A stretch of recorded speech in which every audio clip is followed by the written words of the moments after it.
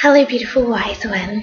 Here's an update for your week ahead, the moon and planets, for the week commencing the 6th of August 2012. What's happening in the skies this week?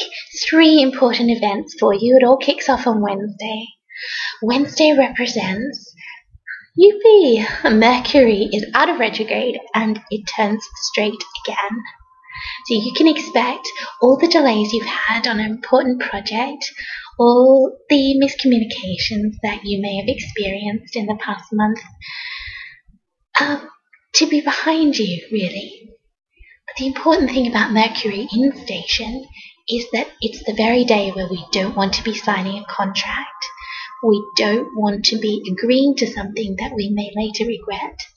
Regret and we don't want to be purchasing something that is that we may want to return because it will create hassle.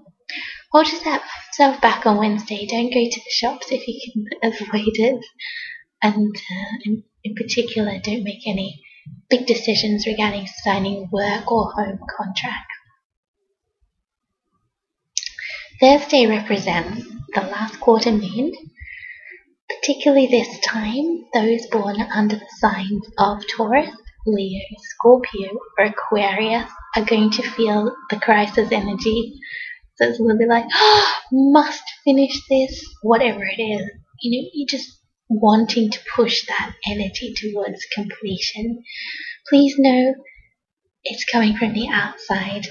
That beautiful project you'd like to tie up it doesn't have to be done right that second, but you will feel it.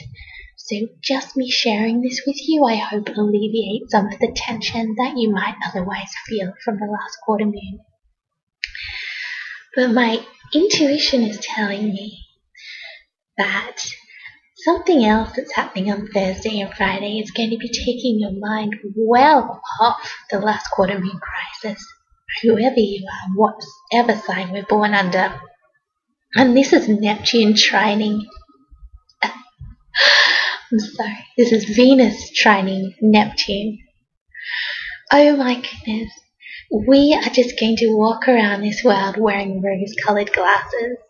Everybody is going to feel a lot of romance on Thursday and Friday. It's very well aspected for I would say a million things now. What does romance mean to you? Whatever romance means to you, Thursday and Friday is going to bring out the best of that energy for you. So expect also your partner to be feeling this. It's happening all around, and especially with Mercury coming out of retrograde, we'll feel like, oh, you know, it wasn't so bad after all. So it's a lovely smooth over by the universe. Very grateful in advance for what this warm and loving energy of Venus trining Neptune will bring us on Thursday and Friday. So that's the update. Really, Wednesday, Thursday, Friday, the most important days this week. Do sign up, please, for my updates, my VIP list, which is free, so you don't miss out on anything.